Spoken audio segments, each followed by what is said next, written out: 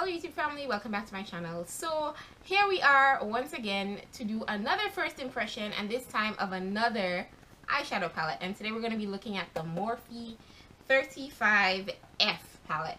I first saw this on nikki tutorial and the colors, man, they spoke to me. I I couldn't say no to this one. I've heard a lot of different things about Morphe as a company good, bad, indifferent, shady, questionable, great, just all kinds of different things. And I'm very curious to see what the color payoff is like on these.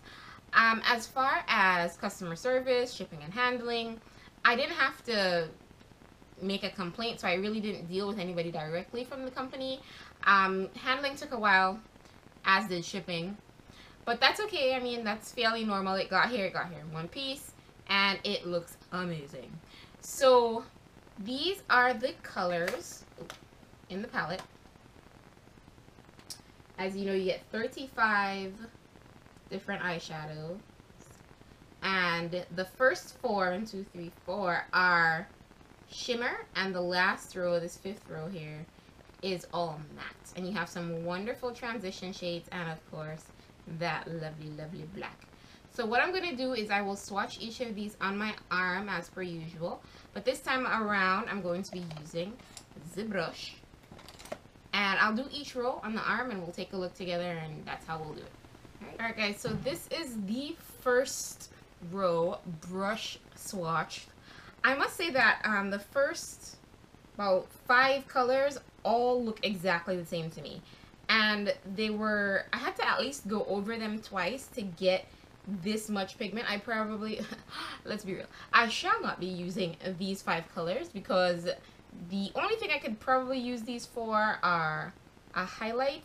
The last two, these two on the end here, which are these two at the top, are, they have some differentiation between them and I do like the way these colors look.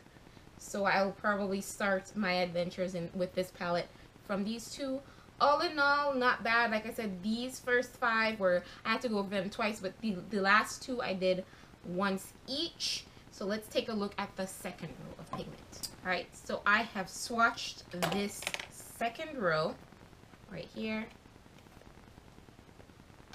on my arm. And as you can see, I am falling more and more in love with these colors. Each swatch, I went over it once with the brush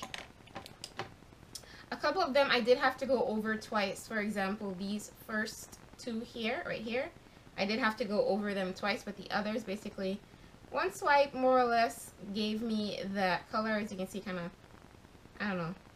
The lighter shades are not my friend, but definitely the darker plummy shades I am in love with. I do love the golds. They are very, very pretty, and they show up quite nicely on my skin. Hope you can see that. So that's the second row. Um, now we're going to move on to the third. So we are looking at this third row, as I said. This one. And this is it swatched on my arm. I am loving these shades. I will say that some of the colors you do definitely have to go in a couple times and build them up. You definitely have to build a couple of these up. They're not the most pigmented or buttery soft shadows I've ever encountered.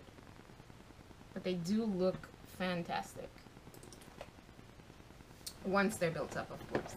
Okay, so we are looking at, so we're looking at this fourth row, and this fourth row was definitely worth the price of admission.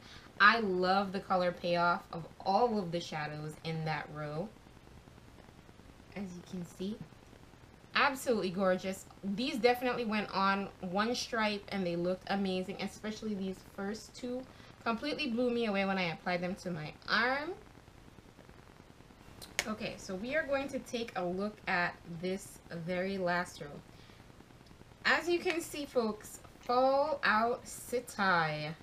Because as I was swatching, I would just go over I pass my brush over each one and it just it's just littered with fallout so be mindful that there is a lot of fallout with these This last row, as I said, swatched on my arm. I will try to salvage those.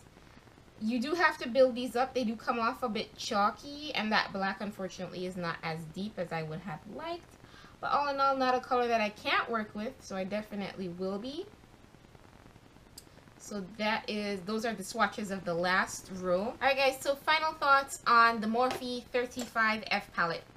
All in all, I would say it's a good palette. Um, not too bad. Some of the shadows do apply a bit patchy and a little bit streaky.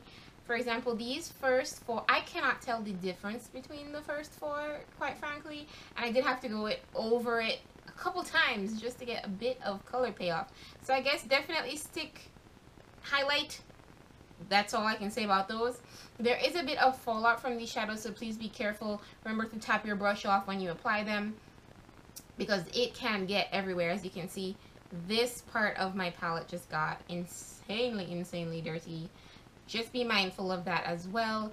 This very last row here, you're definitely going to have to build up some of these matte shadows. And this black is not as deep as I thought it would have been. Still, it is not the worst black pigment I have encountered in life. That distinction goes to another eyeshadow palette. This fourth row is definitely my favorite. I love the color payoff. One swipe, absolutely gorgeous. Love it, love it, love it.